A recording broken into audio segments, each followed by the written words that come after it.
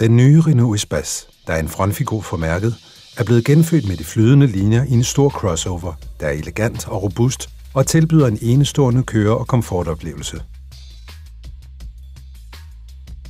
Den understreger sin fremtræden med fronten, signaturen med fuld LED-belysning, den aerodynamiske profil og det innovative interiør. Det uovertrufne Renault Multisense-system giver føreren mulighed for at vælge køretilstand i alle indstillinger mellem fuld komfort og fuld sport. Den store lodrette 8,7-tommer Airlink toskærm styrer alle køretøjets indstillinger og multimediefunktioner. Den justerbare affjedring og som noget nyt, for Control 4 giver reaktionsevne gode køreegenskaber og sikkerhed. Den nye Renault Espace har et stort udvalg af kørselshjælpemidler, der advarer og hjælper føreren og sørger for sikkerhed. Denne crossover er rummelig, lys og meget komfortabel for alle passagerer.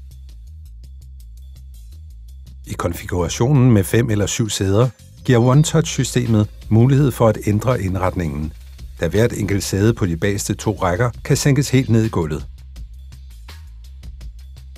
Med et klik kan sæderne nedsænkes, når der er brug for det, enkeltvis eller alle sammen, og uden hensyn til nakkestøttens position.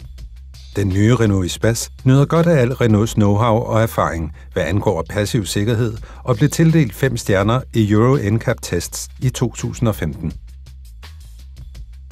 Der tilbydes to dieselmotorer, en Energy DCI 130 i en 96 kW version med en enkelt turbo og en 6-trins manuel gearkasse.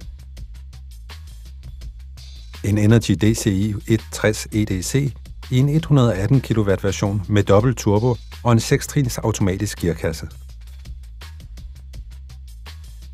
Der tilbydes en helt ny benzinversion med en Energy TCE 200 EDC motor i en 147 kW version med 7-trins automatisk gearkasse.